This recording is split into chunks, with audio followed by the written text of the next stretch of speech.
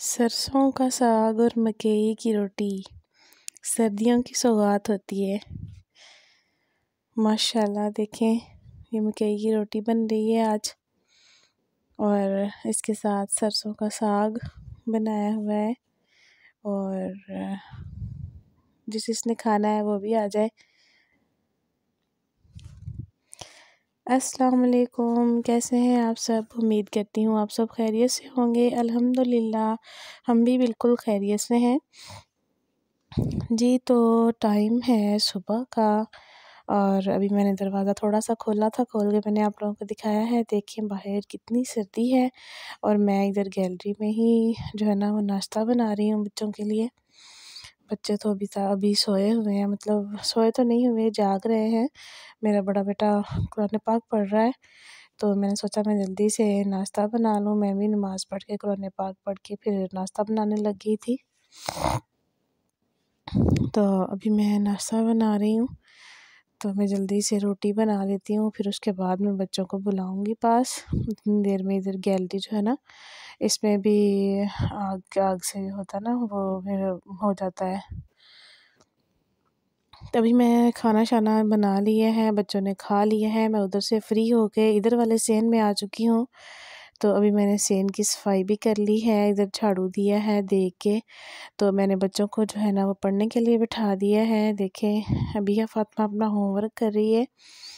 तो रोहान अली खेल रहा है, देखें अभी धूप जो है ना, बिल्कुल भी नहीं निकल रही। तो आज हम ज़रा आए हुए थे, इधर अम्मी मेरी की तबीयत ठीक नहीं थी, इधर आए थे अम्मी का पता करने के लिए। तो फिर जब हम आए तो मैंने कहा, चले मैं खाना बना देती हूँ। तो अम्मी कहने लगे कि मनीब के बाबा जो है ना मकई की रोटी शौक़ से खाते हैं। तो अम्मी जो है ना, मकई की रोटी बनाने लग। गई ये देखिए, इधर अम्मी रोटी बना रही हैं। तो आप लोगों को पता है कि सर्दियों में मकई की रोटी और सरसों का साग, ये तो फिर सर्दियों की सौगात होती है। तो इसके बगैर तो फिर सर्दियाँ ही अधूरी होती हैं ना। ये देखें, इधर ये आटा जो है ना, फुल गर्म पानी के साथ अम्मी ने ना गूंद के रखा हुआ है। तो ये रोटी टूट गई थी, कोई बात नहीं, तोड़ के ही खानी है। कौन सा ऐसे ही खा लेनी है? तो इसकी रोटी जो होती है ना, वो अक्सर औकात टूट जाती होती है। ये देखें, ये वाली साबत बनी है, कितनी प्यारी। और रोटियाँ बहुत मज़े की बनी थी।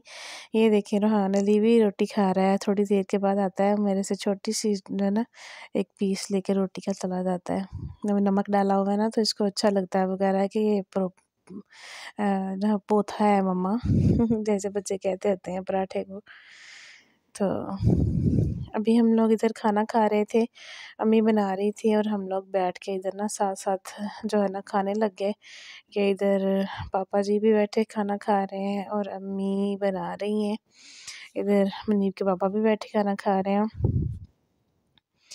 तो हम आ गए थे फिर घर शाम को तो मेरा भाई शॉपिंग करने के लिए गया हुआ था, वो शॉपिंग करके आया। तो अपने लिए कपड़े लेके आया था तो मैं हम हम यहाँ पे वो देख रहे थे। ये देखें, बहुत प्यारा स्टफ़ है, इसका ग्रेस वालों का है। जो ग्रेस सूटिंग वाले होते हैं ना, वो एक इसका ब्लैक कलर का सूट है और एक ये ग्रे से कलर का है। और बहुत प्यारा स्टफ़ था इसका। ये देखें ग्रेस सूटिंग वाला जो कंपनी होती है ना ये उस कंपनी का सूट है।